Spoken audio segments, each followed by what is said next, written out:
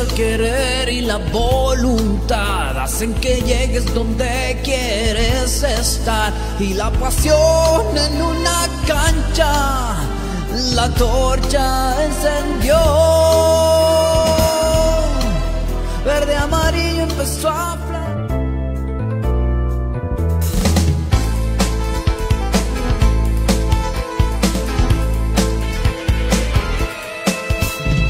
esfuerzo, el querer y la voluntad hacen que llegues donde quieres estar. Y la pasión en una cancha, la torcha encendió.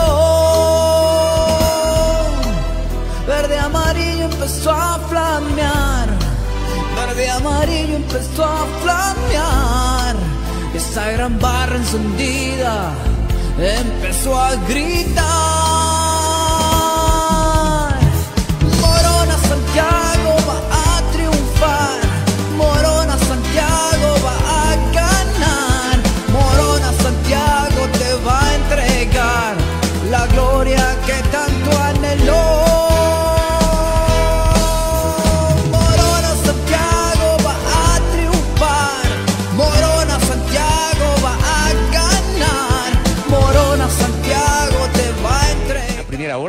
Denis Salazar, Belkis Sánchez y quienes habla, Fabricio Vela. Belkis Gilian, bienvenida, buenos días, ¿cómo le va? Fabricio, ¿qué tal? Buen día, buenos días Denise y buenos días a toda nuestra audiencia. Es viernes y claro que el cuerpo lo sabe, llegamos un poco cansados ya al término de la semana, al menos yo. En todo caso, listos para llevar a ustedes toda la información. Gracias como cada mañana por su sintonía. Recordándoles, como todos los días, la vigencia del pico y placa en la capital es viernes. No pueden circular los vehículos cuyas placas terminan en 9 y 0 desde las 6 de la mañana hasta las 9 y media, 9 horas con 30 y en la tarde, 4 de la tarde hasta las 9 de la noche. Recuerde la vigencia del pico y placa en Quito, evítese las multas que van desde los 63 dólares con 75 centavos hasta los 212 dólares con 50 centavos si es que usted es un conductor reincidente por tercera ocasión o más. Denise. ¿Qué tal Belkis? ¿Qué tal Fabricio? Buenos días con todas las personas que ya están con nosotros. Es viernes 25 de febrero y yo creo que ya todos estamos listos para iniciar este feriado, pero sobre todo tener precauciones, no relajarse. Ayer las autoridades del COE Nacional llamaban a mantener la distancia. Eh, evitar sacarnos la mascarilla porque el virus continúa entre nosotros, así que tomar estas recomendaciones y recordar que Actualmente ya a esta hora están habilitadas la vía Loac Unión del Toachi, también la vía Cala Cali, así que tomar eh, estas recomendaciones e ir con precauciones porque las calles están un poquito eh, inhabilitadas por las lluvias, pero las están abriendo con pasos controlados, así que si van a salir, van a viajar, hágalo con tiempo, no evitar salir en las noches por estos deslizamientos que se están dando y mejor viajar con luz. Esta es la recomendación que les hacemos a las 6 de la mañana con 11 minutos en la primera hora. Antes de que eh, dé cuenta de la agenda y a propósito de lo que señala Denise, actualizo la información que está señalando respecto de la situación en las carreteras. Eh, rápidamente contarles que eh, hacia las 3 de la mañana con 23 minutos, la prefectura de Pichincha informaba que tras las primeras labores de limpieza en el deslizamiento ocurrido en el kilómetro 35 de la vía mitad del mundo Río Blanco, se habilita el tránsito controlado. El personal de maquinaria continuará la labor de limpieza a partir de las 5 de la mañana, circule con precaución. Es decir, a esta hora hay circulación controlada en la Calacalí Río Blanco eh, es decir, la zona que enlaza Quito con el noroccidente de la provincia de Pichincha, y a esta hora deben estar ya mm, efectuando pues eh, o continuando las labores de limpieza. Y también eh, contarles, este fue otro tuit generado igualmente a las 3 de la mañana con 35 minutos, un deslizamiento en el kilómetro 40 de la vía Loa Unión del Toache, por lo que ese tramo se encuentra parcialmente habilitado, es decir, no está cerrada la carretera, pero evidentemente hay que circular con mucha precaución muy despacio, por favor, hay que tener cuidado con eso. Eso simplemente para añadir lo que decía Denise Salazar. ¿Qué tenemos de agenda, Denise, para el día de hoy? Para hoy viernes tenemos una agenda en donde profundizaremos algunos temas de la coyuntura que se ha generado en las últimas horas, ¿no? A las 7 de la mañana en punto dialogaremos con Cristina Benalcázar, ella es ecuatoriana residente en Rusia, y también hablaremos con el padre de Sebastián Báez, estudiante ecuatoriano en Ucrania, Paul Báez, quien nos contarán cómo está esa tensión, cómo se encuentran en, en la tensión entre Rusia y Ucrania, que en las últimas horas se ha ido eh, profundizando. Los, ayer comentaban los medios internacionales que los bombardeos en horas de la noche continuaron en Ucrania, así que vamos a dialogar con nuestros connacionales para que nos cuenten cuál es su situación y cómo avanza. A las 7 horas con 30 minutos, la académica Catalina Barreiro nos ayudará a entender con profundidad lo que está sucediendo entre Rusia y Ucrania. A las 8 en punto, el presidente de Expo Flores, Alejandro Martínez, dialogará en torno a la afectación económica que representa este conflicto entre Ucrania y Rusia. Más tarde, a las 8 horas con 30 minutos, la médica pediatra especialista en tratamiento de enfermedades raras, raras o huérfanas, Paola Vélez dialogará con nosotros sobre el Día Mundial de las Enfermedades Raras. Para finalizar a las 8.45, Luis Chávez, presidente de la Corporación Product Cayambe, nos contará lo que nos ofrece Cayambe en este feriado. Esta es la agenda prevista para hoy viernes 25 de febrero. Lo de Cayambe, por ejemplo, ahí tienen una buena posibilidad. Si es que no van a salir tan lejos, se van a quedar en Quito, en la provincia de Pichincha visitar Cayambe, visitar Mejía, evidentemente son opciones para quienes quieran quedarse justamente acá. Ahí tiene nuestro menú informativo. Priorizaremos el día de hoy nuestras entrevistas sobre los temas internacionales, sobre lo que está ocurriendo en Ucrania con el ataque de las Fuerzas Armadas de Rusia. Y también vamos a actualizar información a lo largo de este espacio informativo. En mi comentario, atentos, atentos. Hablaremos del espectáculo del día de ayer a nivel político. ¿Cómo son nuestros políticos? Bueno, hoy con artillería pesada en eh, nuestro comentario sin rodeos aquí en A Primera Hora por Sonorama. Comenzamos de inmediato las noticias con los titulares.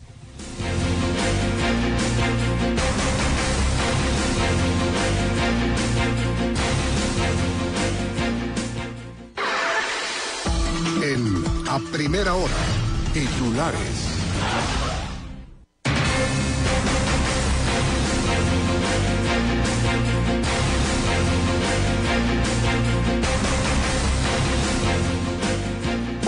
Partido Social Cristiano y una facción de Pachacutic buscaron interpelar la presidencia de Guadalupe Llori en la Asamblea Nacional.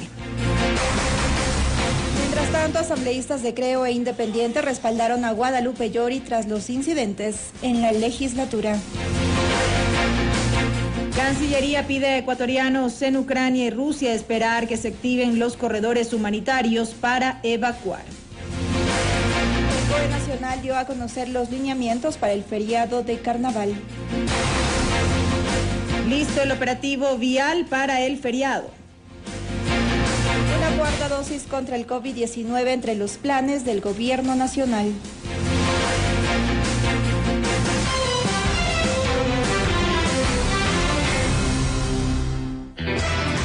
En Sonorama, a primera hora.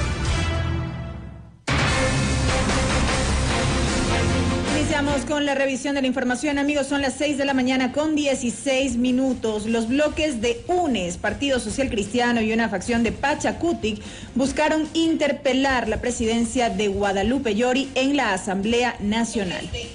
La presidenta de la Asamblea Nacional, Guadalupe Llori, suspendió la sesión del Pleno en medio de gritos de un grupo nutrido de legisladores, de las bancadas de UNES, el Partido Social Cristiano y una fracción de Pachacutic Previo a los incidentes, la presidenta de la legislatura dio paso a tres cambios de orden del día, de cinco que fueron propuestos, pero la aparente nueva mayoría en la Asamblea Nacional empezó a exigir que se dé paso para que se tomen el orden del día, la conformación de una comisión ad hoc para evaluar las acciones del CAL y de la presidenta del legislativo. Yori al intentar continuar con la sesión del Pleno, se dieron los incidentes y decidió suspender la sesión y salió entre gritos del hemiciclo de la legislatura. Guadalupe Llori no ha violado ningún procedimiento legislativo. Por lo tanto, he respetado como la más, como la que más, la constitución, las leyes y los procedimientos legislativos. Y ojalá mi país no se olvide que yo le, le, le prometí el 24 de mayo, le prometí trabajar por la reconciliación. Y lo hice. Trabajar por la unidad nacional. Lo hice. Y también trabajar por la gobernabilidad y la institucionalidad de mi querido país, el Ecuador. Y vamos a seguir trabajando de manera conjunta con todos y cada uno de los asambleístas que apuesten por la democracia. Y es el momento de llamar a la unidad para poderlo hacer con, ese, con esa sinceridad, con ese amor que debe garantizar la estabilidad de nuestro país. El primer vicepresidente de la Asamblea Nacional, Virgilio Saquicela, se reunió con los jefes de las bancadas para dar a conocer que a las 19 horas del miércoles se iba a reinstalar la sesión y que la iba a presidir la misma presidenta del organismo. Al haber la apelación, la señora presidenta debía haber encargado la presidencia. Y no ha ocurrido esto. Si se hubiese reinstalado y dado paso a la apelación, hubiese tenido derecho el apelante y obviamente en ausencia de la señora presidenta no hubiese ejercido su derecho a la contradicción. Sin embargo, de lo que he conversado con algunos los asambleístas, el punto de orden se refería a que posiblemente no se habían ingresado las peticiones del orden del día en la manera que se certificó Secretaría. La bancada de Unión por la Esperanza, el Partido Social Cristiano y una fracción de Pachacutic buscan generar una comisión que evalúe la situación del CAL, incluido el accionar de la presidenta de la legislatura, para una posible destitución. Daniel Borja, en Noticias, Sonorama tiene la palabra. 6 de la mañana con 20 minutos. Mientras tanto, asambleístas de Creo e Independiente respaldaron a Guadalupe Llori tras los incidentes en la legislatura. El bloque de Creo e Independientes dan su respaldo a la presidenta de la Asamblea Nacional Guadalupe Llori. Puntualizaron que lo mismo de siempre se quiere registrar en la legislatura para apoderarse del poder y que ellos no permitirán estos atropellos. Así lo puntualizó el asambleísta Juan Fernando Flores del movimiento Creo. Asambleístas que no están de acuerdo con lo que está sucediendo. El llamado es a que defiendan la democracia. Y defender la democracia es defender la Asamblea Nacional, defender a las instituciones y defender al Estado ecuatoriano. Porque aquí no están buscando la cabeza de Guadalupe Llori, aquí no están buscando sacar a los miembros del CAL, aquí están buscando tomarse el poder. Y ahí se los decimos con claridad. En las calles, los que estamos aquí, luchamos para llegar a estos espacios de apoyo, a que nunca más vuelva la dictadura y a que nunca más vuelva quienes nos pisotean. La reinstalación de la sesión 766 de la Asamblea Nacional que se tenía previsto para las 19 horas fue suspendida tras un comunicado emitido por parte de la presidenta de legislatura en donde resaltó que no existían las garantías necesarias para dar la sesión. Como les dije una vez más, no lo vamos a permitir. Aquí estamos para seguir luchando y trabajando por la democracia de nuestro país. Y aquí está Guadalupe Lloris, una mujer que más que hablar, escucha, que más que prometer, cumple, que más que pelear, trabaja. Y como voy diciendo, voy haciendo. Y le vamos a demostrar que nos vamos a unir con todas las bancadas que en realidad quieren luchar por la democracia, defender la democracia. Una vez que se instale una nueva sesión de la legislatura, se dará a conocer el futuro de la Asamblea y si se da o no la conformación de una comisión para que investigue y evalúe el accionar de la presidenta Guadalupe Llori y de los miembros del CAL. Daniel Borja en Noticias. Sonorama tiene la palabra. Mañana con 22 minutos. La Cancillería pide a ecuatorianos en Ucrania y Rusia esperar que se activen los corredores humanitarios para evacuar. Mi misión en este momento es que los ecuatorianos lleguen a salvo a nuestro país. Así indicó el canciller Juan Carlos Holguín al referirse a la situación de los connacionales tras el ataque de Rusia a Ucrania. Porque hay 1.500 ciudadanos ecuatorianos en riesgo por este conflicto. Holguín indicó que en riesgo están 700 ecuatorianos en Ucrania y más de 700 en Rusia, y aunque entiende la situación de los familiares, pide mantener la calma y no evacuar por ahora. Que no hay una visión clara de lo que está pensando Rusia en este momento. Yo no puedo pedir en este momento a los ciudadanos ecuatorianos que salgan de donde se encuentran porque no hay garantías de que Rusia pueda respetar un corredor humanitario. El objetivo, dijo, es que una vez se establezca el corredor humanitario de salida a fronteras, se ayudará a los ecuatorianos a evacuar con seguridad. Para eso, adelantó, se ha dialogado con la Unión Europea, Cruz Roja Internacional y ACNUR. Al momento hemos pedido a todos que se mantengan donde estén salvaguardados, en algunos de los casos que asistan a albergues cercanos pero lo importante ahora es esperar a que la comunidad internacional, especialmente los organismos de ayuda en este tipo de situaciones, puedan tomar el liderazgo en la situación de traslado. Holguín indicó que desde hace semanas atrás se creó un plan de contingencia y cuando se activen los corredores humanitarios, se moverá a los ecuatorianos hacia zonas seguras. Destacó, por ejemplo, que Polonia y Eslovenia van a recibir ecuatorianos sin visa Schengen. Y una vez que estén a salvo en frontera, nuestro compromiso es traerlos con seguridad acá al Ecuador. El presidente Guillermo Lazo también se pronunció y condenó el ataque de Rusia a Ucrania. Ecuador cree en el multilateralismo y está dispuesto a respetar y apoyar las decisiones que tome el Consejo de Seguridad de las Naciones Unidas. Apoyar la paz, el diálogo y que prevalezca la seguridad de todos los seres humanos que viven en aquella región del mundo. El gobierno de la República del Ecuador, a través de un comunicado, condenó la decisión de Rusia de lanzar una operación militar que viola la soberanía e integridad territorial de Ucrania. La agresión armada vulnera los principios de la Carta de las Naciones Unidas y en particular la solución pacífica de las controversias. Así lo destacó en el documento. Denisa Salazar en Noticias. Sonorama tiene la palabra. Con 25 minutos, el COE Nacional dio a conocer los lineamientos para el feriado de carnaval.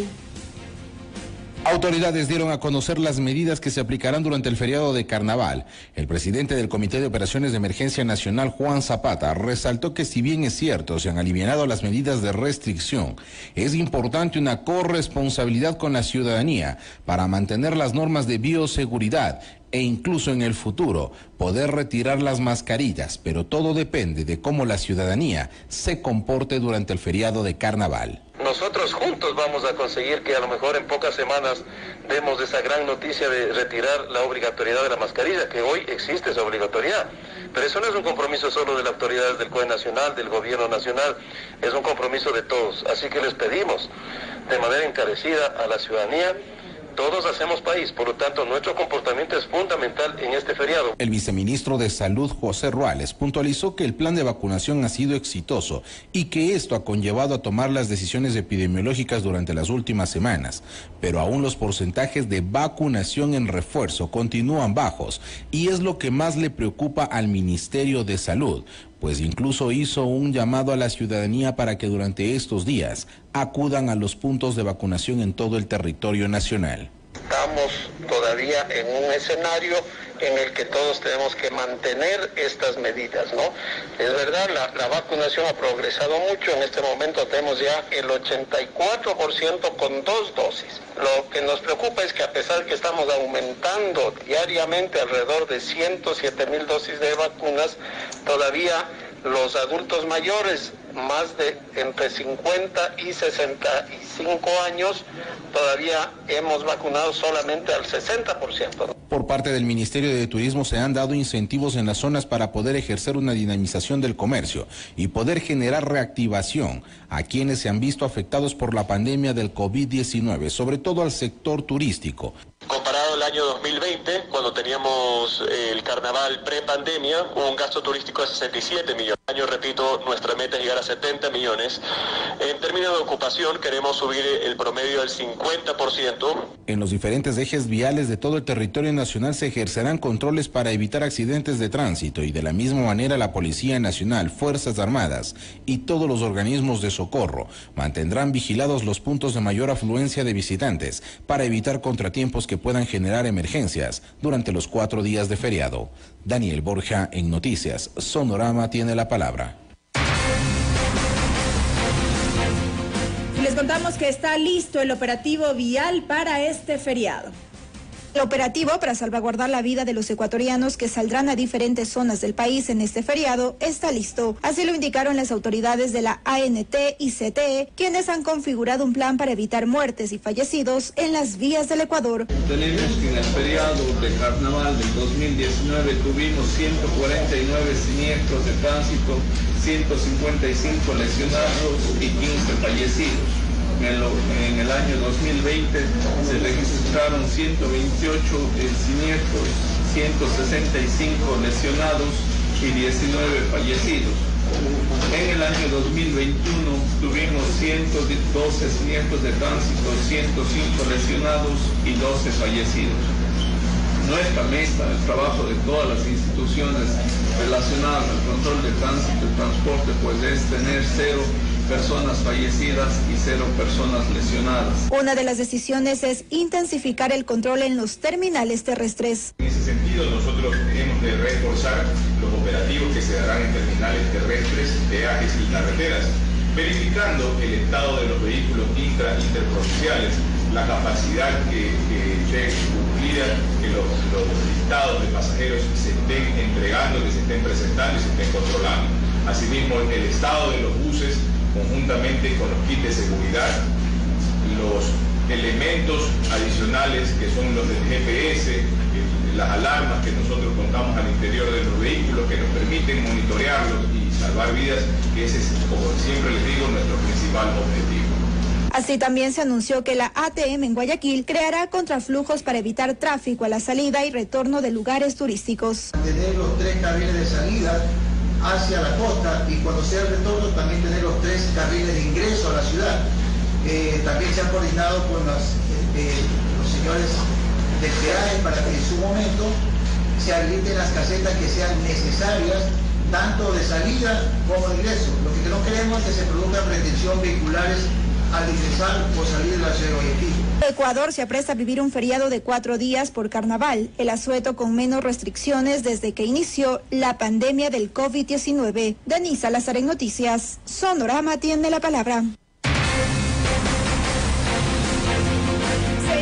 Mañana con 30 minutos en otras noticias, una cuarta dosis contra el COVID-19 entre los planes del gobierno nacional. El gobierno ya tiene entre sus planes la aplicación de una cuarta dosis de la vacuna contra el coronavirus que empezaría a colocarse desde mayo, así lo comentó la ministra de Salud, Jimena Garzón. Eh, estamos planificando, por supuesto, poner cuartas dosis si es que es necesario, posiblemente lo será. Eh, por eso es, es, importante que nosotros sigamos monitoreando, fue uno de los temas que topamos con el doctor Fauci. Cada cinco meses nosotros eh, tenemos planificado seguir vacunando. Indicó que ha mantenido una reunión con el asesor médico de la Casa Blanca, Anthony Fauci, en donde se abordó la posibilidad de un nuevo refuerzo. Es decir, aquellas personas que recibieron su eh, tercera dosis en diciembre eh, recibirán su eh, nuevo refuerzo en mayo aproximadamente. Al igual que en ocasiones anteriores, el primer grupo sería los de la primera línea de atención y adultos mayores. También mencionó que junto a Sinovac ya se trabaja en una vacuna que ayude a detener la propagación de la variante Omicron. Vamos junto con Sinovac a conducir eh, una fase 4 de investigación de una nueva vacuna Sinovac que está desarrollando la China eh, para eh, controlar la variante Omicron. Esta variante es extremadamente contagiosa, entonces parece que produce casos eh, menos, grave, menos graves que la variante Delta, que son las únicas que ya están prácticamente pues circulando en el mundo y esperamos que en, corto tiempo ya desaparezca la Delta de, la, de nuestra comunidad. es muy contagiosa, entonces obviamente todavía produce casos, algunos poquitos. Agregó que Ecuador se encuentra en los sitiales más altos de reconocimiento en la región por el proceso de vacunación. En el país también se espera la relajación de medidas como dejar de usar la mascarilla en lugares abiertos en los próximos meses. Denise Salazar en Noticias, Sonorama tiene la palabra. Que no salpiques ni te salpiquen la corrupción y el coronavirus. La honestidad y la vida deben ser cuidadas a toda costa. Toma distancia, que no te contagien. Sonorama, el punto exacto de la concientización. Manejando. Caminando. En el trabajo. En la casa. Descansando. O donde usted se encuentre. Digite www.sonorama.com.es y escuche la mejor programación. Sonorama, la gran señal nacional. El siguiente segmento tiene clasificación A, apto para todo público, contenido O de opinión. En A Primera Hora, la opinión de Fabricio Vela, sin rodeos.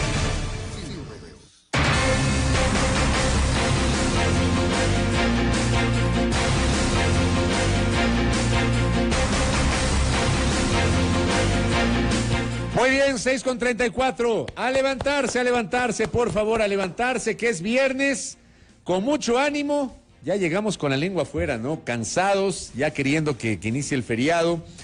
Eh, bueno, yo estoy agotado. Este feriado me cae de perlas y estoy seguro que a muchos de ustedes a tratar de descansar, recuperar energías en estos cuatro días, con mucho cuidado, eh, protegiéndonos evidentemente y tomando los recaudos del caso. Pero ¿cómo cerramos la semana? Tengo conectadas, conectadas, eh, cerca de 900, 900 internautas entre Facebook Live y YouTube. Gracias por aquello, listos para escuchar el comentario. A levantarse, a levantarse. Levántese, lávese la carita y escuche este espacio de noticias. Gracias a todos quienes se unen a, nuestra sintonía a través de nuestras eh, frecuencias en eh, todo el territorio continental ecuatoriano e igualmente por la internet y por nuestra transmisión eh, digital. Gracias por los mensajes y por la sintonía. Bueno, llega el feriado, pero los problemas no cesan. Yo ayer le decía a, a mi compañera de RTU, Valeria Rosales, que por cierto le envió un abrazo, está de cumpleaños el día de hoy a la Vale, que le envió un abrazo enorme a mi compañera del canal. Le decía yo, eh, a mí me da pesar, decepción, desasosiego las cosas que pasan en este país. La bronca política eh, termina siendo muy decepcionante, pero al mismo tiempo a uno le dan material para que todos los días tenga algo que decir. Como también decía un amigo, no hay chance ni hay margen para aburrirse en el Ecuador, y no, no lo hay. Y no lo hay porque desgraciadamente nuestros políticos no cambian, no cambian porque está claro que las cosas cambiaron de manos para no cambiar, para mantener las mismas prácticas que juraron combatir, cuando no eran poder. Cuando no eran poder criticaban, cuestionaban, repudiaban. Luego llegan al poder y hacen exactamente lo mismo. Exactamente lo mismo. Yo ayer decía en mi cuenta Twitter que estuve monitoreando permanentemente la situación de la Asamblea Nacional de cómo los demócratas de ayer se convierten en dictadores de hoy y cómo los dictadores de ayer se convierten en demócratas de hoy.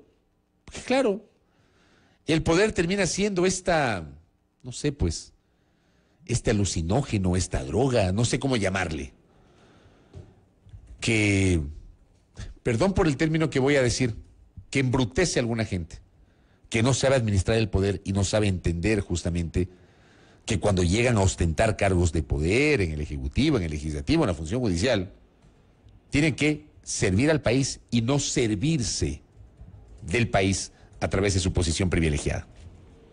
¿Ya? A través de su posición privilegiada.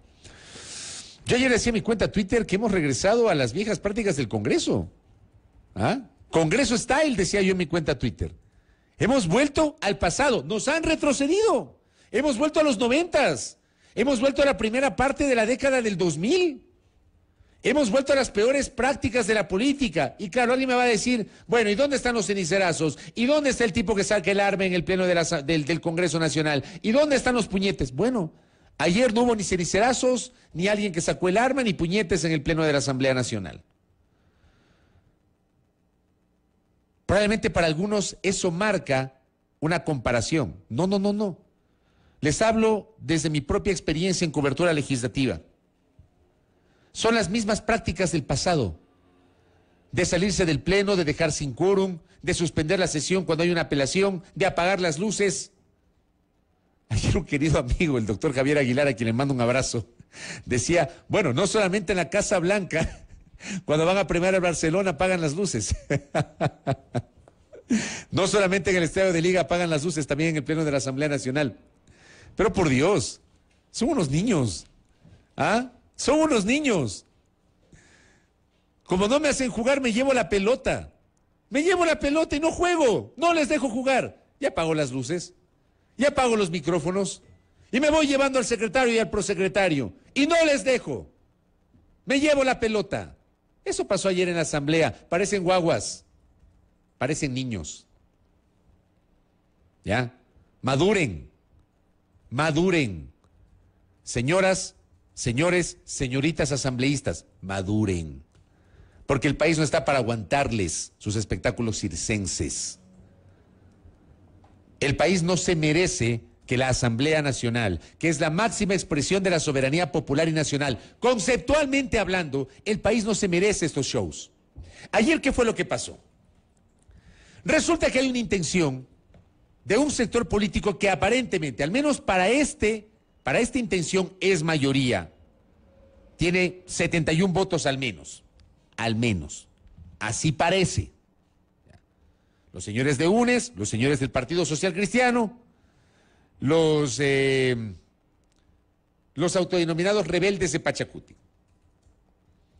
Si todos estos sectores, los 47 de UNES, los 10 rebeldes de Pachacuti y los 14 socialcristianos, actúan unidos, tienen más de 70 votos, tienen algo así como 71.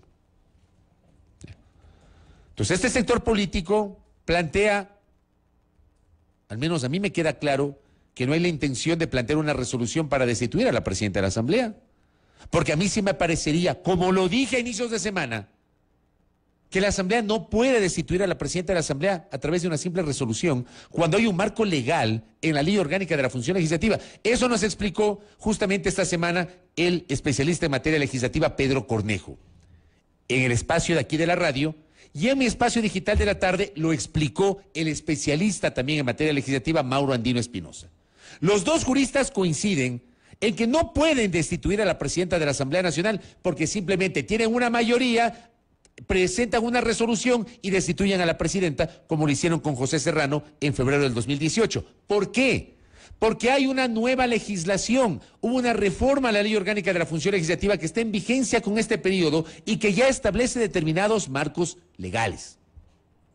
Entonces, tienes que respetar el debido proceso, que tanto les fastidia a algunos, pero hay que respetar el debido proceso. Hay que hacerlo. Antes había que hacerlo, hoy hay que hacerlo y mañana hay que hacerlo. Hay que respetar el debido proceso, querida audiencia. Puede no gustar, pero es la única manera de garantizar el derecho a la defensa de quien está siendo señalado, enjuiciado, cuestionado, lo que, lo que ustedes quieran. Es la única manera. Y es la única manera de que no se vulneren principios y derechos constitucionales y que mañana pasado la persona que está siendo afectada no tenga pues argumentos para ir a cortes internacionales de las cuales somos clientes frecuentes como país. Entiendan el debido proceso. Entonces, ¿qué plantean? La creación de una comisión. ¿Para qué? Para evaluar la conducta de los señores integrantes del Consejo de Administración Legislativa. ¿Qué es el Consejo de Administración Legislativa? El CAL es el máximo organismo de administración de la función legislativa. Lo preside la señora presidenta de la Asamblea Nacional y lo integran el primero y segundo vicepresidentes y cuatro vocales. Los cuatro vocales, ¿de dónde son? Del BAN, o sea, de Creo y sus aliados, la señora Natri Arias, de Izquierda Democrática, la señora Joana Moreira, señora señorita Joana Moreira, de Pachacutic, el señor Darwin Pereira, y de UNES, el señor Ronnie Aliaga. Más la presidenta Yori, el primer vicepresidente Virgilio Saquicela y la segunda vicepresidenta Yesenia Guamaní. Ese es el CAL. Yo en lo personal, a priori, no le veo ningún problema en que evalúen al CAL, pues. Porque hay que evaluar. El problema es que en la Asamblea no hay un mecanismo para evaluar permanentemente. No hay un mecanismo. Pero conceptualmente la evaluación es buena, siempre, para todas las actividades. Ustedes me evalúan a mí todos los días con su sintonía y con sus críticas. Cuando uno está en el trabajo, sector público-privado, tienen que evaluarle. A priori está bien la evaluación. Pero si esa evaluación no es seria, si esa evaluación lo que busca es el objetivo final de generar una reorganización de la función legislativa, yo ahí sí tengo mis reparos. ¿Por qué?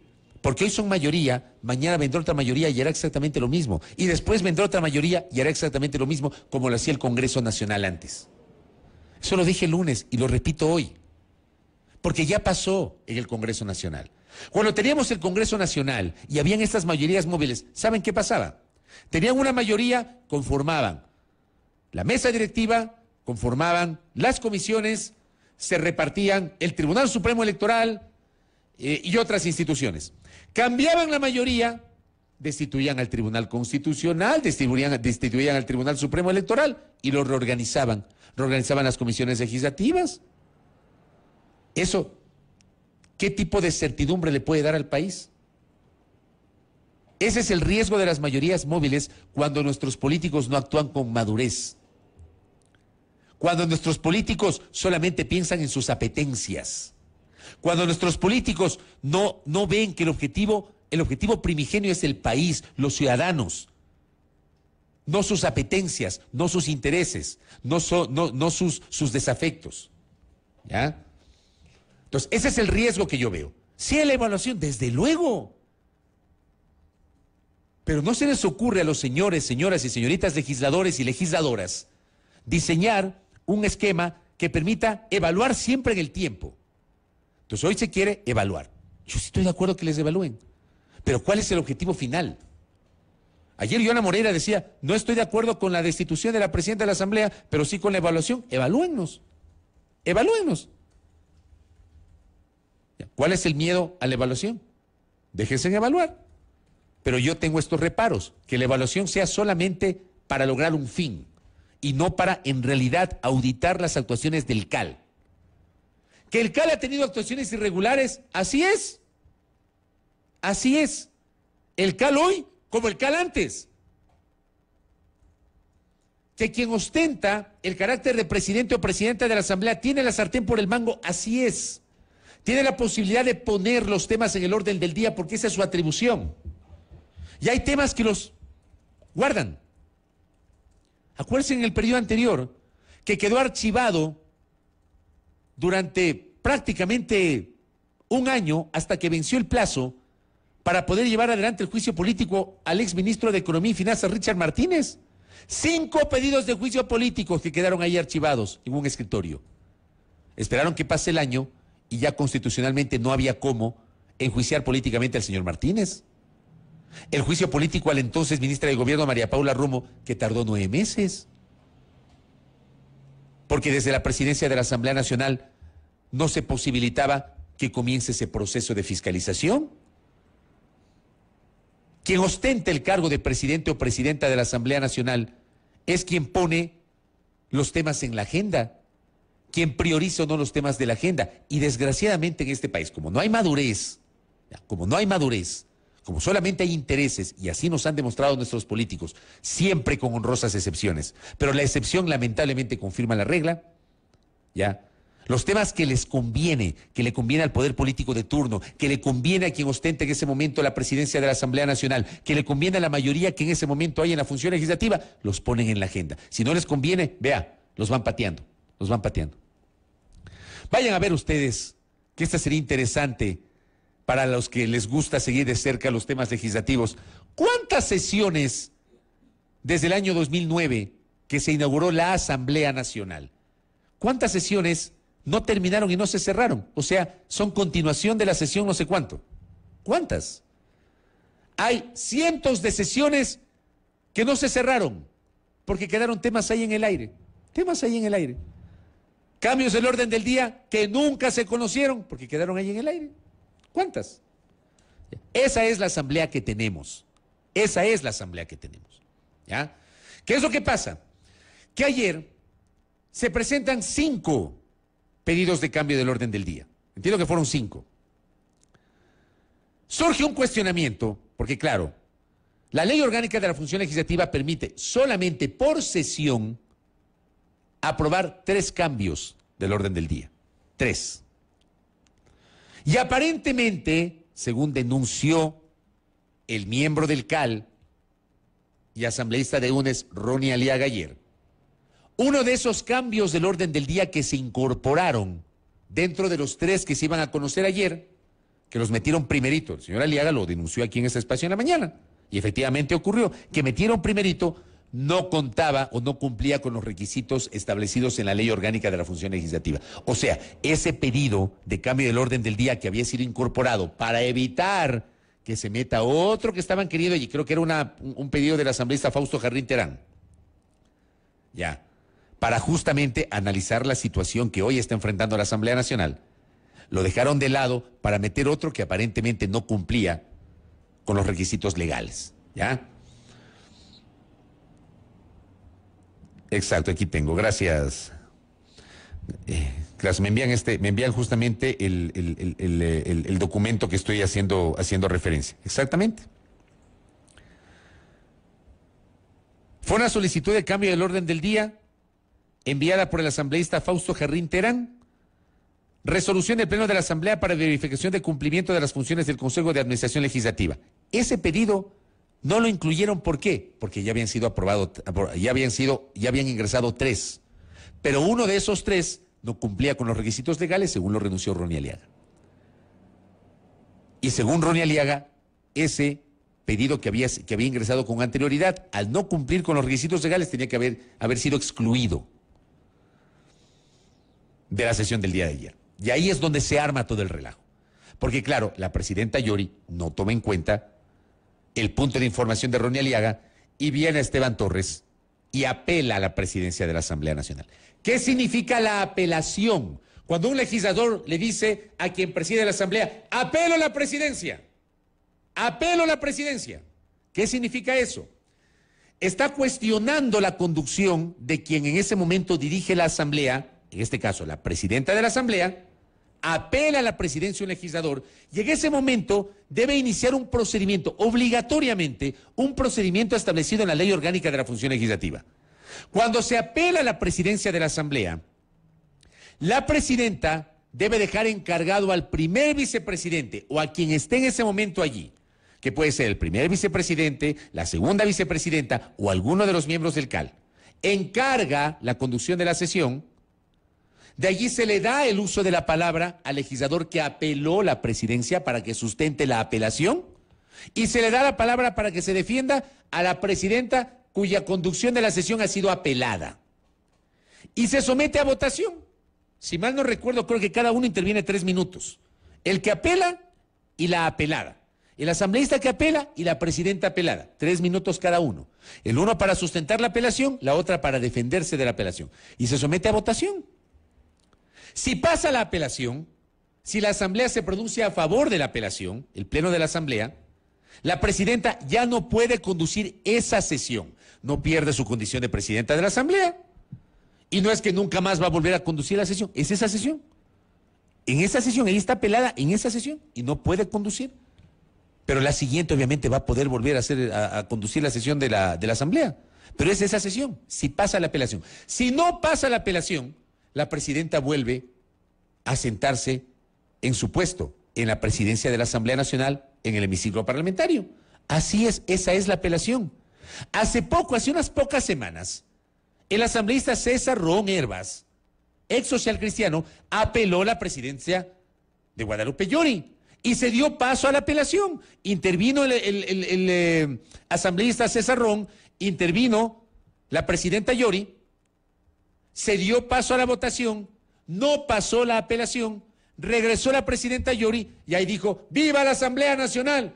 Y, exclamó ahí un, término, que no lo puedo decir aquí en estos micrófonos porque obviamente hay que respetar los, los, oídos de la audiencia. ya, ya pasó.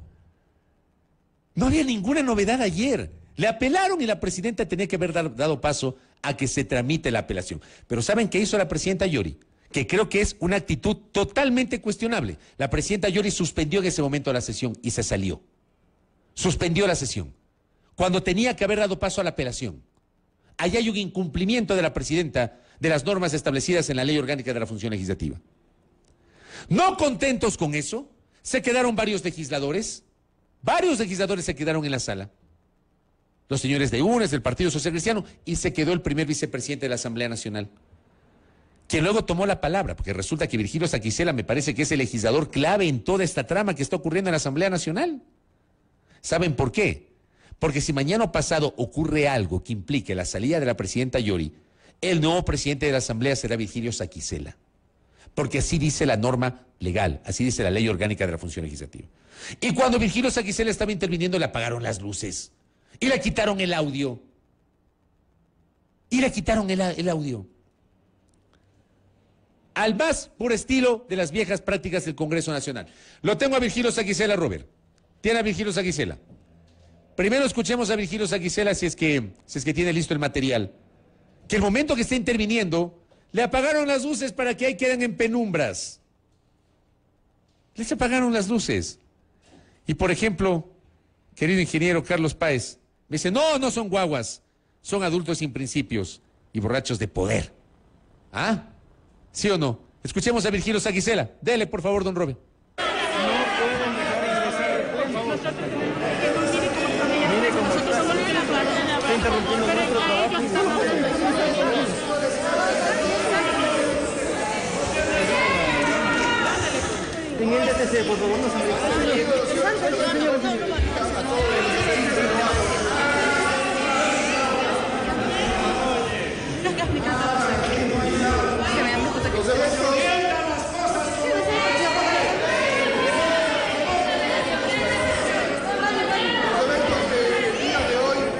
no pueden alterar la institucionalidad y la legalidad. La señora presidenta se ha retirado de este pleno. Igual ha sucedido con el señor secretario, el señor secretario se les ha convocado, no han comparecido. Igual ha sucedido con el señor asesor jurídico. Bajo ese punto de vista, no es factible reinstalar esta sesión. Es más, al haber una apelación, la señora presidenta debía haber encargado la presidencia. Y no ha ocurrido ello. Si se hubiese reinstalado y dado paso a la apelación, hubiese tenido derecho el apelante y obviamente en ausencia de la señora presidenta no hubiese ejercido su derecho a la contradicción. Sin embargo, de lo que he conversado con algunos de los asambleístas, el punto de orden se refería a que posiblemente no se habían ingresado las peticiones del orden del día en la manera que se certificó por Secretaría. Eso podría ser materia de una investigación que no iba a cambiar el orden del día que ya fue aprobado por la presidenta titular. Bajo esa concepción, simplemente por respeto, mi calidad de primer vicepresidente, informa a ustedes la imposibilidad de reinstalar esta sesión y sabemos que a las 7 de la noche está convocado y entiendo presidirá la señora Presidente titular del Parlamento. Muchas gracias, buenas tardes. Qué pena no poder poner una canción eh, de fondo, ¿no? Ah, la canción de Miguel Gallardo. Y apago la luz. ¿Ah? ¿Qué tal? o Piel de Ángel de Camilo VI. Ah, este amor que vive en penumbras. Ah, ¿sí o no? Ah, le apagaron la luz a Saquicela. Le apagaron la luz y se fueron llevando al secretario y prosecretario. Y claro, el primer vicepresidente dice, no puedo reinstalar. Porque no tengo secretario ni prosecretario. ¿Ah? ¿Esto es normal? ¿Esto es democracia? Pregunto. ¿Ah? ¿Esto es democracia? ¿Qué les pasa? ¡Maduren! ¡Maduren! ¿Qué dijo después la presidenta Yuri? La presidenta Yuri, y es un tema no menor. La presidenta Yuri brindó una declaración de prensa, convocó a la prensa, a la sala de sesiones del CAL, y estuvo acompañada solamente por cinco de los 25 legisladores de Pachacuti. Por cinco. Ya les digo quiénes son. Aquí tengo anotadito. Los cinco que estuvieron ayer con la presidenta Yori. Rafael Lucero, Gisela Molina, Edgar Quesada, Joel Abad, Ligia Vera, Ligia Vega. Los cinco legisladores de Pachacuti que la acompañaron y la acompañaron 10 del BAN, o sea, de Creo y de los Independientes. Estuvo rodeada de 15 legisladores. Flanqueada por esos 15 legisladores, la presidenta de la Asamblea Nacional volvió a hablar de un plan conspirador, de un plan para desestabilizar. Esto dijo Guadalupe Llori. Buenas noches, señores periodistas. Muy buenas noches al pueblo ecuatoriano. Ante los hechos bochornosos que han sucedido en este día en el Pleno de la Asamblea Nacional, protagonizados por el partido político UNES y secundados por algunos miembros del Partido Social Cristiano. Antes lo hicieron en el pasado, tomarse por asalto mi vivienda, mi casa, arrastrarme y encarcelarme, hoy quieren repetir esa hazaña también tomándose por asalto la Asamblea Nacional. Soy una mujer que vengo desde abajo, vengo desde la lucha social, vengo desde los pueblos y nacionalidades. He luchado por los derechos de mi querido pueblo de Orellana. Y hoy me corresponde con firmeza luchar por la democracia de mi país, haciendo respetar las leyes, la constitución y los procedimientos legislativos. Y lo voy a hacer con todo mi corazón, como me enseñaron a luchar mis antepasados. Y voy a demostrarles que se debe respetar a la Asamblea Nacional, una institución noble, que es justamente la institución que representa a la democracia del país. Quieren desestabilizar la Asamblea Nacional y luego ir por la desestabilización del país. Hoy se están jugando y más que jugando, están desesperados por tomarse el Consejo de Participación Ciudadana, porque en próximos semanas y meses se van a tener que elegir la Contraloría, la Procuraduría, el Consejo Nacional Electoral. Esta es la declaración de la presidenta Yuri. Habla de intentos conspirativos, de desestabilización, pero esta última parte me hace ruido. La presidenta dice que se quieren tomar los organismos de control. El día martes, cuando censuraron y destituyeron a la superintendenta de bancos, Ruda Rey, igualmente un segmento de la opinión pública señaló que ese es el, primer ejemplo de que se quieren tomar los organismos de control. Y me salta a mí una duda ahí, pues. Me salta una duda. De lo que yo sé, no sé si estoy loco en lo que voy a decir, pero el organismo que designa autoridades de control es el Consejo de Participación Ciudadana y Control Social. No es Asamblea. El rol de la Asamblea es posesionar a las autoridades de control. El organismo que lleva adelante los procesos es el Consejo de Participación Ciudadana y Control Social, donde se ha gestado una nueva mayoría. De lo que yo sé. O sea, creo que no estoy loco al decir esto. De lo que yo sé también, se han presentado pedidos de juicio político, como nos explicaba ayer Ronnie Aliaga, hay un juicio político contra cuatro de los siete consejeros del Consejo de Participación Ciudadana y hay otro juicio político contra los siete consejeros del Consejo de Participación Ciudadana. Pero es un juicio político que se va a llevar adelante de un día para otro, porque hay un orden de prelación. Y como el propio Ronnie Aliaga ayer advertía, desde la conducción de la presidencia de la Asamblea, se están enviando a la Comisión de Fiscalización esos pedidos en el orden que considera la señora presidenta. Yo no creo que el Consejo de Participación Ciudadana y Control Social en este momento lo vayan a destituir. Entonces es el Consejo donde hay una nueva mayoría política. Creo que todos tienen claro cuál es la orientación político-ideológica del doctor Hernán Ulloa Ordóñez. Creo que está claro cuál es la configuración política de la nueva mayoría del Consejo de Participación Ciudadana. Entonces no entiendo por dónde se están, están asaltando, se quieren tomar los organismos de control. Esa parte no la entiendo, realmente no la entiendo, no la comprendo, no la comprendo. Y como siempre he dicho, o sea, se quiere desestabilizar dependiendo de quién lo dice. Es democracia dependiendo de quién lo dice, en uno o en otro sentido. Al final, al final, querida audiencia, este es el país que tenemos. Este es el país que tenemos. Nos merecemos esta asamblea. Y no, no me vengan a mí con el cuento de que nosotros les elegimos por Dios. Sí, nosotros somos responsables de quién elegimos. Pero ¿quiénes son los que nos cambian las reglas del juego para elegir? ¿Quién? ¿Quiénes? ¿Quiénes finalmente logran el favor popular y llegan?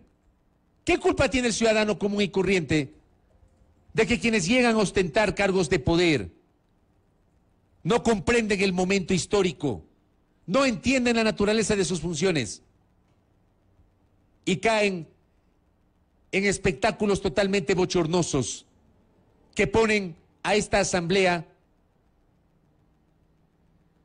ante la crítica de la opinión pública.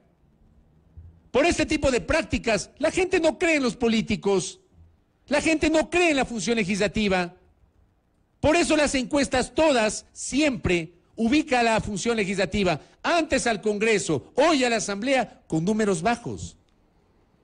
Por eso, por ejemplo, ayer en un chat con algunos colegas había alguien que decía, hay que eliminar la Asamblea. ¿Por qué? Yo no estoy de acuerdo en eliminar la Asamblea. ¿Por qué? Si la Asamblea es la esencia de la democracia. La legislatura es la esencia de la democracia. No es que la Asamblea no funciona.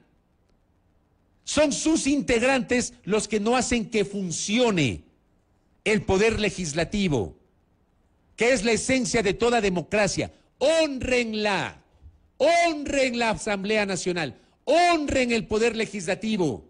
Señoras, señores, señoritas legisladores y legisladoras, honren el rol que les dio el país trabajen con sentido nacional, como dice la Constitución, y dejen de perder el tiempo en estos shows baratos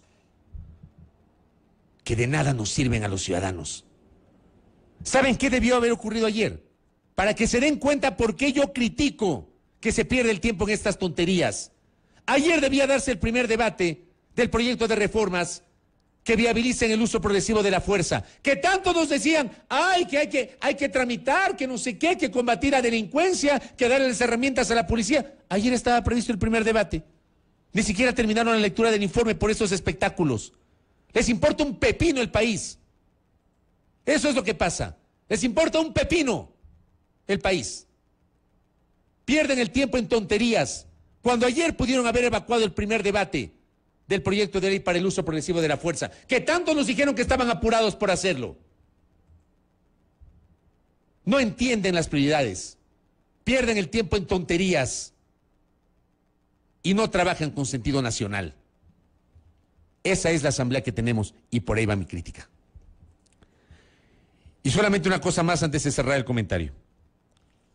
Yo sí deploro, cambiando de, escenario, salgo de la Asamblea y voy al, Ejecutivo. El presidente de la República está en su pleno derecho de criticar a sus detractores. Está en su pleno derecho.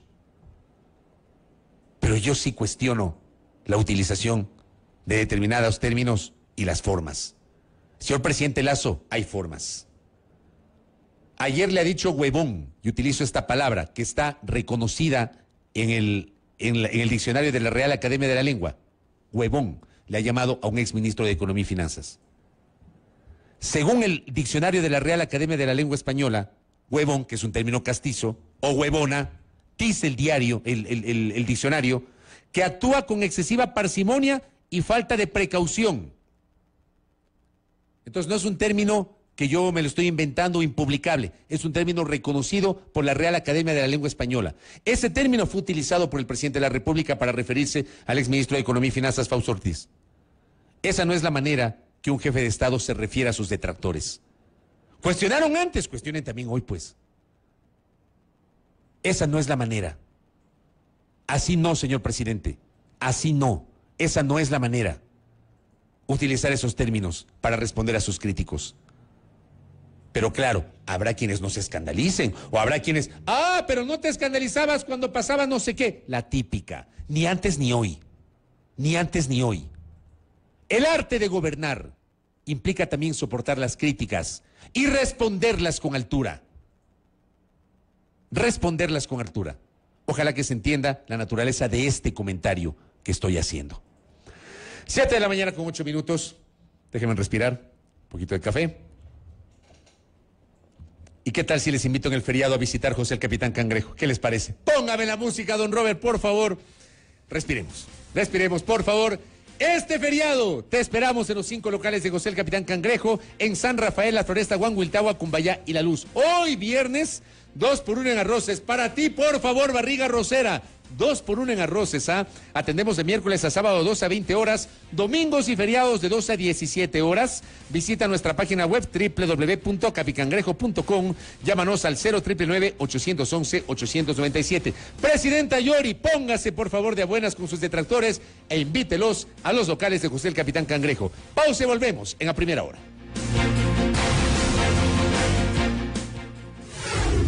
Si tú estás escuchando este mensaje, también lo hacen un millón y medio de personas en 750 mil vehículos que este momento circulan por la ciudad de Quito. Anuncia en radio. La radio vende. Amplifique su imaginación. Escríbenos a ventas arroba sonorama.com.c o llámanos al 60 20 25. La radio, Reyes, la radio. Métaselo en la cabeza. Inicio de espacio publicitario. El sonorama. Siete horas. Nueve minutos. La PUSE pone a tu disposición el servicio de pruebas de diagnóstico de COVID-19 a precios convenientes. La pandemia no ha terminado. Diagnostícate oportunamente y evita complicaciones graves en tu salud. Una contribución de la PUSE para la salud y bienestar de la comunidad. Recuerda que un diagnóstico oportuno puede salvar tu vida. Comunícate al 099-715-4380 o 098-564-3335 o acude a las instalaciones de la PUSE en Pasaje España y Avenida Ladrón de Guevara. Paquetes especiales para tu familia, empresa o instituciones educativas. Liberty Seguros. Acérquense, acérquense para ver si estamos todos. Vengan, vengan, que el profe va a pasar lista. Sánchez. Presente. Rodríguez. Presente. Liberty. Presente. En Liberty Seguros seguimos trabajando para ti poniendo a tu disposición productos y servicios que protegen tu esfuerzo y cuidan tu tiempo. Descubre más ingresando a libertyseguros.es o busca a tu broker más cercano. Liberty, liberty, liberty, liberty. Fin de espacio publicitario. No hay nada más importante que estar informado. Por eso, si usted es amante de los deportes, quiere estar actualizado en noticias, variedades, tener contacto con nosotros, o simplemente escuchar nuestra programación en vivo, ingrese a sonorama.com.es y descubra una variedad de contenidos que nuestra programación le brinda día a día donde quiera que se encuentre. Sonorama.com.es es la página web de Sonorama, la gran señal nacional. Porque con la fotografía y los videos también podemos comunicarnos. Ahora usted tiene la oportunidad de visualizar e interactuar sobre deportes y noticias del Ecuador y el mundo. Síganos en Instagram como arroba Radio Sonorama S y comparta textos, fotos, imágenes y explore todos nuestros contenidos generados día a día. Recuerde, arroba Radio Sonorama S en Instagram es una gran opción para comentar sobre nuestras publicaciones de una manera directa. Arroba Radio Sonorama S en Instagram. Sonorama, la gran señal nacional. El siguiente segmento tiene clasificación A, apto para todo público, contenido O de opinión. En A Primera Hora, punto de vista, el análisis con nuestros invitados.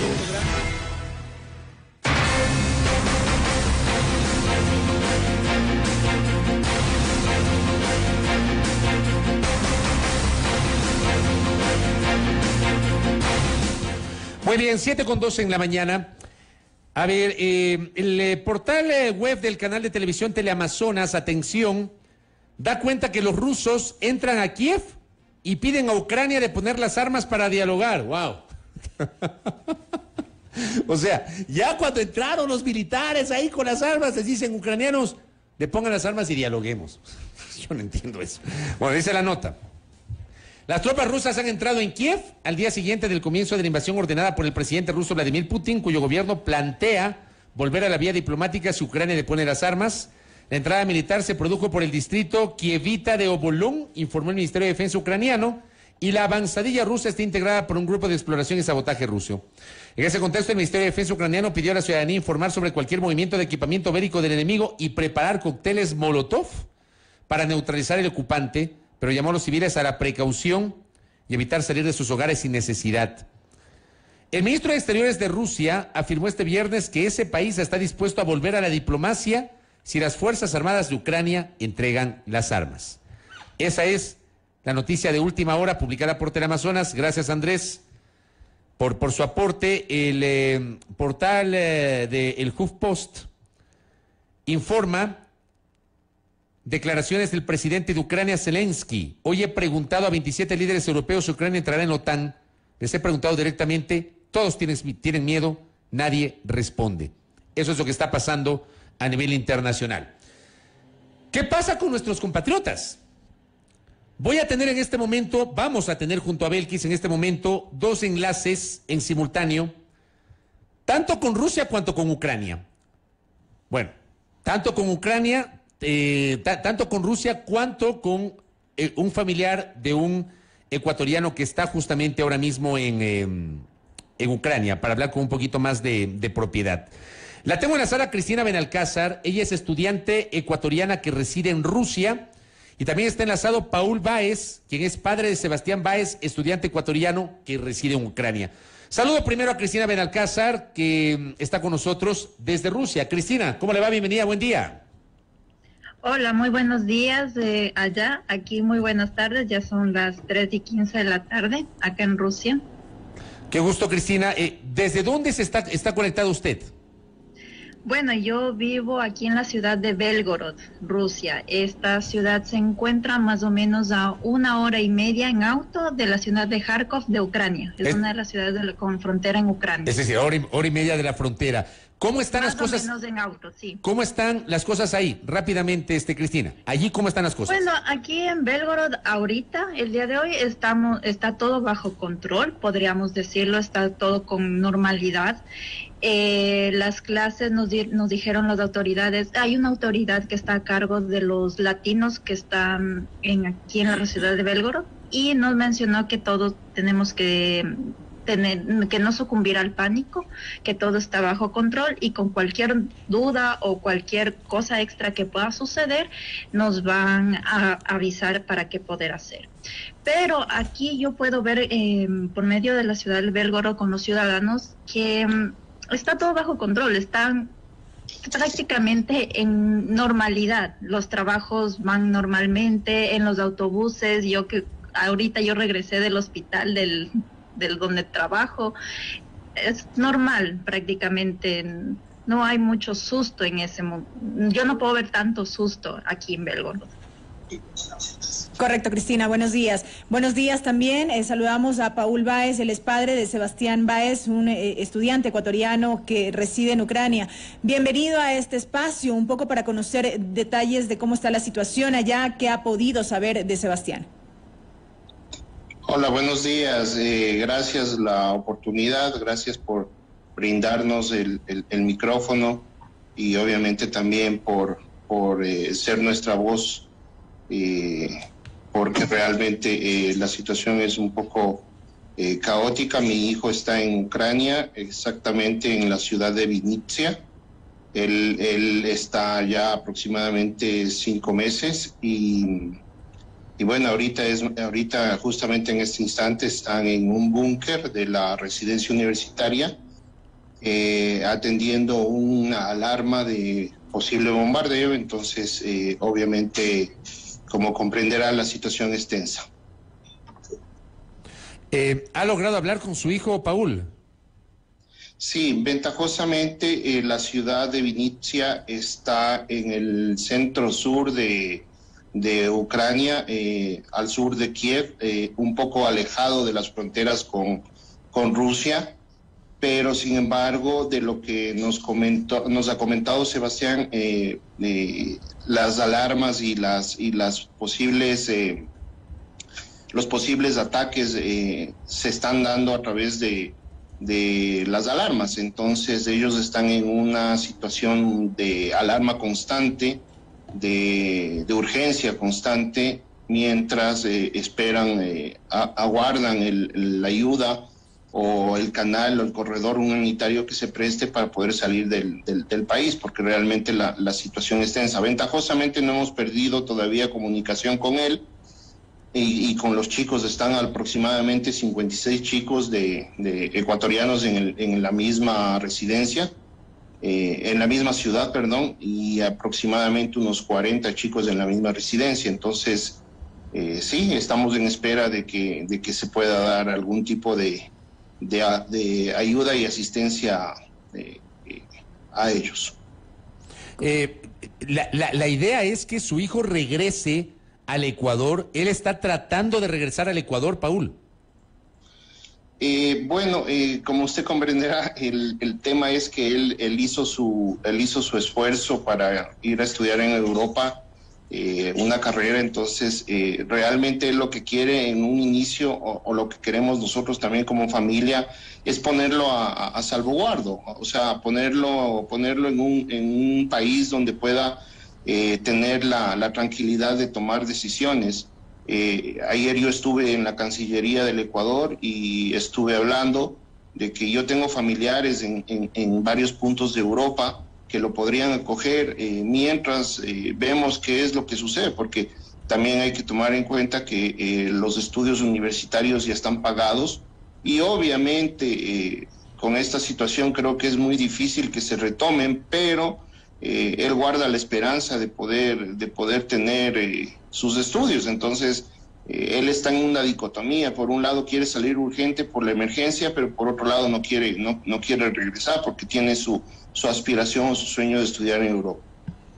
Correcto, correcto, señor Báez. Cristina, bueno, este conflicto desde hace semanas, de alguna manera ya se lo veía venir, eh, hasta que finalmente eh, desencadenó en lo que estamos eh, viviendo en estas últimas horas, o en lo que se está viviendo, mejor dicho, entre Rusia y Ucrania en las últimas horas. ¿Cómo, cómo miran ustedes, cómo lo miras tú, estando al otro lado del mundo, estando justamente en la zona donde estás, más allá de que nos comentas que hay cierta tranquilidad, al menos donde resides?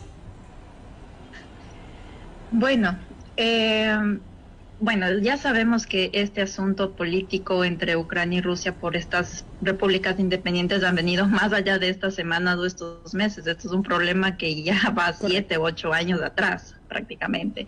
Entonces, si bien se ha hecho más afán estos últimos meses contra la invasión de Rusia a Ucrania, esto entre los ciudadanos de Belgorod o en el lugar de donde yo trabajo, donde yo entreno, eh, siempre hay simplemente comentarios, comentarios de político, pero no es que lo han tomado como que un gran susto, como que va a haber una enorme guerra, más o menos como que le han tomado mucho más con tranquilidad. Aquí, por lo que yo he visto en este lado del mundo, lo mismo pasó con la pandemia. Mientras que allá en Latinoamérica veíamos las noticias y decían que sí, que Rusia también está en alerta roja, que hay un montón de mm, de enfermos y todo. Aquí en Rusia o en la ciudad de acá le tomaron con mucho más tranquilidad. El golpe de pandemia tampoco fue tan de golpe, o sea, yo no le sentí tan fuerte como lo hubiera sentido allá en Ecuador, en, nuestro país. Y lo mismo está pasando yo ahorita. Está, estamos pasando pues ahorita. Aquí en el hospital si estamos con... Estamos trabajando normalmente, las clases en las universidades normal y es como que se toma la situación con un poquito más calma. No digo que no asuste, que no alarme y que no tengamos eh, que estar preparados para cualquier otra cosa, porque este tema no es algo que, que se dé así por así, algo que se solucione de un día para el otro. todos estamos con nuestras calmas, con, con nuestras antenitas viendo qué pueda suceder en un futuro, pero prácticamente es como que un poquito, digamos, de con un índice de más tranquilidad le toman el asunto. ¿Usted eh, a qué se dedica allá? ¿Por, ¿Por qué se fue? ¿Se fue a estudiar? ¿Se fue a trabajar? Eh, ¿qué, ¿qué, hace allá este, Cristina? Yo soy médico eh, y estoy aquí estudiando mi posgrado. Ya estoy por terminar mi posgrado en otorrinolaringología y por eso me, me, vine acá a Rusia a estudiar. Pero, ya estoy por acabar. de hecho, en junio, julio más o menos yo ya acabo mi posgrado. Pero, pero su plan era solo estudiar o, o, o, pensaba o piensa establecer su residencia en ese país? No, mi plan es estudiar y regresarme a Ecuador a trabajar allá. ¿Cuánto tiempo cuánto tiempo vive usted ahí en Belgorod, en, casi en la frontera con Rusia? Más o menos unos dos, dos años y medio, casi tres. En estos casi tres años, ¿hubo algún tipo de escaramuza? O sea, usted nos ha relatado que de esto siempre se ha hablado, pero, pero digo, en estos casi tres años ha habido escaramuzas, ¿usted ha visto movimientos de militares, de tropas, ha habido algún tipo de susto? No, realmente no. No he visto ningún tipo de susto, la gente normal camina por ahí. Eh, aquí en Rusia tienen que entender que cada ciudad de Rusia tiene su museo y sus cosas de tanques de guerra, por lo que obviamente lo que significó la Segunda Guerra Mundial en su tiempo. Entonces es como que ver eso es prácticamente normal. Entonces no hay eso, lo que usted me menciona, no hay de ese tipo de sustos de aquí en las calles. Correcto. Eh, voy con el señor Paul Baez. Se conoció el día de ayer de estos acercamientos por parte de autoridades ecuatorianas, el propio canciller con familiares de eh, compatriotas que residen allá en Ucrania.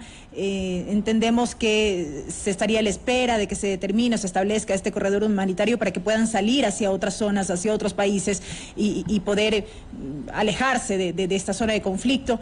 Em, ¿Han tenido ustedes de pronto algún acercamiento? ¿Se les ha informado respecto de acciones de emprender? ¿Qué, qué saben? Eh, sí, en efecto, como les indiqué, yo estuve ayer en la Cancillería para, para pedir eh, me informen cuáles son las acciones que están tomando, porque realmente este, este, este tema es, eh, pasa básicamente por la ayuda de, de parte de la, de la Cancillería. O sea, ahorita estamos inclusive nosotros en un dilema muy grande. Hay, hay algunos chicos que, justamente le, eh, estaban por salir de, ya del país, de Ucrania, estaban en el aeropuerto de Kiev esperando su vuelo de retorno y le suspendieron. Y ellos del susto, del, cierre y todo, eh, salieron vía terrestre inmediatamente a, Polonia, pero cuando llegaron a Polonia les, les negaron la entrada porque obviamente todavía no se había eh, activado la emergencia Sé que ahora ya están ellos, eh, ellos eh, en resguardo, ya, ya pudieron entrar, pero, pero la pasaron bastante mal. Y además de eso hay chicos que, que, sus padres, obviamente de la desesperación, hay, cada uno lo toma de una manera distinta. Eh, muchos están muy asustados, con muchísimo miedo, y eso les lleva a tomar decisiones que no son muy, muy, muy fáciles. Hay muchos chicos que, que inclusive han dejado sus cosas, han salido con su maleta de emergencia y, y están buscando la manera de movilizarse y, obviamente eso puede ser mucho más peligroso que, que esperar, ¿no? Eh, como digo, ahorita mismo todos los chicos están en un búnker, están, están, están a la espera de, que, de ver qué pase y mi llamado es básicamente a que eh, eh, la Cancillería active lo más pronto posible la, eh, sus protocolos para que puedan ayudarlos, porque como digo, son, son chicos que en su vida han enfrentado este tipo de cosas y muchos de ellos están muy asustados. Mi hijo, mi hijo también ya, ya llegó a un punto en el que, en el que eh, está, está bastante, bastante asustado. él no sabe qué, qué, va a pasar, no, no, no sabe qué, cómo direccionarse. Eh, ayer nombraron unos delegados y esos delegados inclusive han, han, tenido problemas porque no todos están en Vinicia, hay una sola persona que está en Vinicia y no están teniendo comunicación directa. Eh, y si la cosa sigue, sigue agravándose, puede, puede inclusive cortarse la comunicación y eso sería peor. Entonces, eh, mi llamado a través de ustedes que, nos han brindado esta oportunidad es, que la Cancillería trate de, trate de activar lo más pronto posible la ayuda porque realmente eh, se la están necesitando. Sí, justamente yo hacía énfasis en esta pregunta porque eh, a través de su cuenta de Twitter, justamente Sebastián Báez decía eh, el día de ayer, soy ecuatoriano residente en Vinicia, no he recibido ninguna respuesta de Cancillería acerca de algún plan para los ecuatorianos, se espera que comience la guerra para actuar, preguntaba él, eh, no tienen algún plan en mente. Eh, más adelante decía, desde las 5 de la mañana se han encendido alarmas, se han visto misiles por el cielo, varias explosiones, la gente se encuentra alarmada, los supermercados están quedándose vacíos de productos, personas hacen filas interminables para sacar dinero.